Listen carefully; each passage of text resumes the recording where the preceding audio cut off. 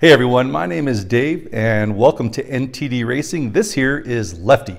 And this is pretty much what it looks like after washing up. We just finished 1,200 miles of the Baja 1000 and it was We've been through four Baja 1000s, and this was the most grueling. It was amazingly difficult. Uh, and this truck finished 1,200 miles, which was the race distance. We just didn't do it in time to get a qualifying time. But it says something for this truck, considering that uh, we built it and finished it just right before the race. So it really wasn't much tested before uh, we got here. I always say, that if I build something that doesn't work or fails or something like that, I'll be the first one to tell you. And so I know there were guys who were asking me questions about my steering system, and I just want to make sure that I tell you exactly what I thought were the weak points of our steering system. Let me start with the good points first, and I have videos that show you exactly how I built this thing. This is called the slider, and the benefit of the slider is it allows me to use the old stock uh, uh, Silverado 2500 HD steering box and I make my own pitman arm and through a tie rod I, I connect to this slider and this slider goes back and forth and hooks up both of my tie rods out to the spindles. That allows me to maintain the exact geometries that I want to use uh, so that I can have a long travel suspension and minimize the bump steer. That's the benefit of that. This slider was bulletproof. It transmitted massive amounts of loads that were from the tires all the way through and I will call this thing a, total win. And if you're making one of these, I would make it the same way that I did. And if I was make another one, I would make it the exact same way. Because the way I mounted it, it is really easy to maintain it. I can get it off, I can grease it, I can change the boots if I have to, and those kinds of things. Total win there.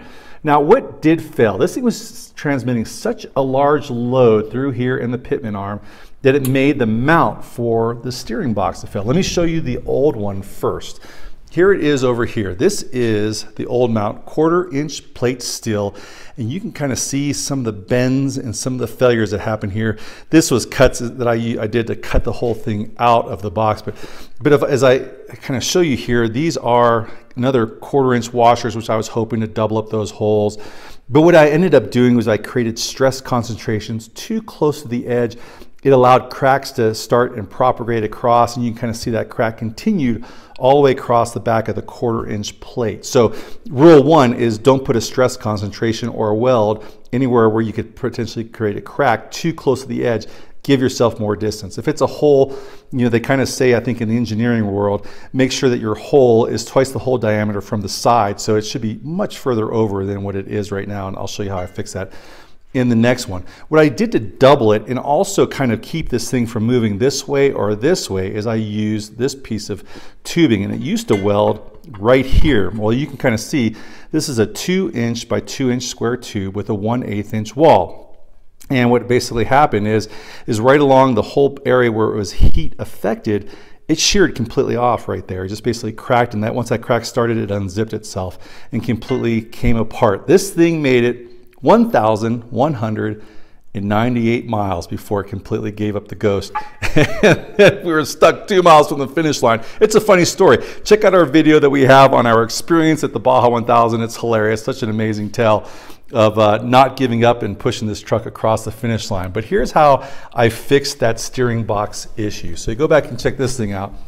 Uh, so what I did different, and I'll kind of, again, pull this piece over, is as this piece sat in here, it basically on the bottom, it was welded the same as this one. But as you look at the top, you see how this one was relying on a square tube to keep it from bending this way. This one now continues all the way up to here to this part which I kind of call my shear plate, uh, which is kind of maintaining the geometry of the top of my roll cage up here where the suspension is and where the bumper is and all those kinds of things. So that's going to be much more rigid uh, up there. And then that square tube, I still like the square tube idea on there, so I continued that. However, this time I went to Harbor Freight and I got one of their pieces that they use to make trailer hitches. This is two and a half inch by two and a half inch with a one quarter inch wall which is just super beefy and it's welded in there. And then if you look on the other side, if I can get the camera in here, you can kind of see this doubler plate right here this one is much bigger. It's further away from the edge of the walls, so just in case it does start a crack or something like that, or resist any kind of cracking, and make sure that this isn't a heat affected zone over here on the side. And this is one continuous piece as opposed to being washers. It goes all the way around. So for this bolt right here to be sheared out of there, it would have to go through three quarter inches of steel And so I feel like it's pretty good, and this won't be, I think, the weak point anymore uh, for this design. So uh, if you're doing something like this yourself, uh, those are the changes that I made to make this thing hopefully bulletproof. We will test it at the Mint 400, another absolutely grueling race in general. And, uh, and if something goes wrong, I'll let you know. So anyway, thanks for watching.